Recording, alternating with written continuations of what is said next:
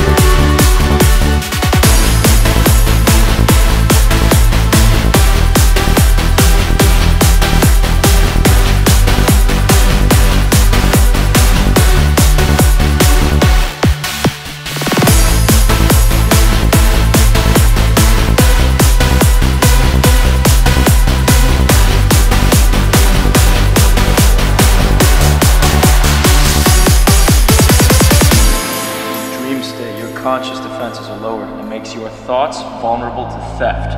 It's called extraction. Extraction.